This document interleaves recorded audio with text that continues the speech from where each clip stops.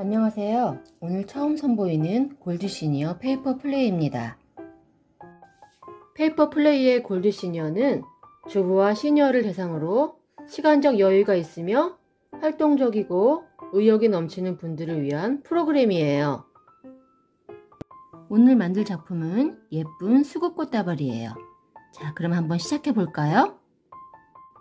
들어가는 준비물은 15cm 한지와 15cm 망사, 7cm 골지 3장, 나뭇잎 조화, 꽃씨, 꽃철사, 막근이 필요합니다. 수국부터 접어볼게요. 7cm 골지를 내 앞에 놓으시고요. 세모 한번 접을게요. 펼쳐서 반대편 세모 한 번 더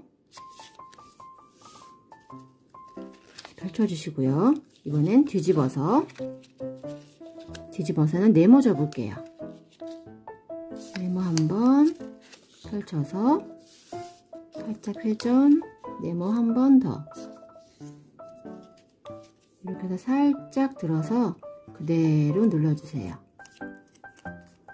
이렇게 되면 네모 주머니가 하나 둘 생기는 사각 주머니 접기가 완성됐어요. 내려놓으시고요. 중심선을 향해서 이렇게 접어주세요. 반대편도 마찬가지로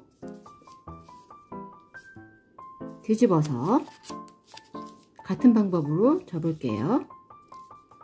오른쪽, 왼쪽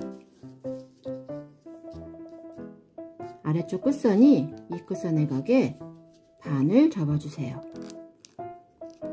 꾹 자, 살짝 들어서 위쪽을 펴주시면 양쪽에 솟아나와 있는 아이가 있죠. 손을 넣어서 살짝 눌러주세요. 네모가 하나, 둘, 셋, 네 개가 있는 수국이 완성됐어요. 저는 윗부분을 가위로 살짝 잘라줄게요. 보이시죠? 꽃철사를 준비해주세요. 반을 살짝 접어서 꽃이 두 개를 꽃철사 가운데 끼울게요. 반을 접어서 끝을 살짝 돌려주시고요. 끝까지 돌돌돌돌돌돌 꽃철사를 돌려주세요.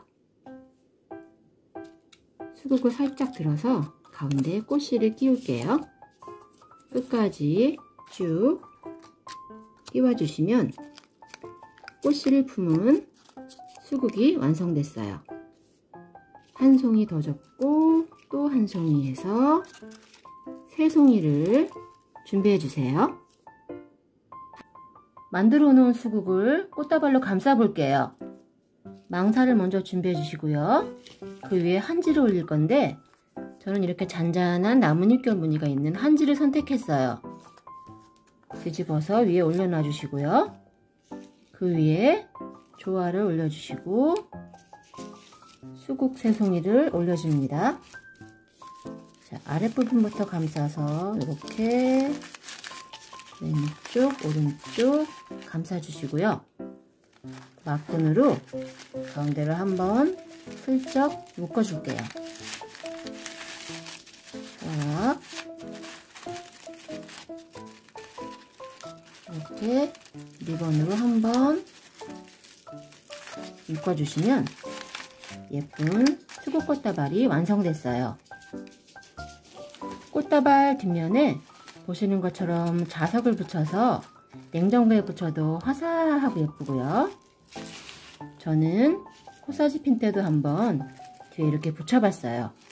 다가오는 5월 고마운 분들 가슴 위에 달아드리면 어떨까요? 직접 만든 핸드메이드 꽃다발이라서 의미도 있고 받는 분도 부담스럽지 않아서 좋을 것 같아요. 수국 꽃다발 어떠셨나요? 영상이 마음에 드셨다면 좋아요, 구독 꾹 눌러주세요. 그럼 다음 시간에 또 만나요.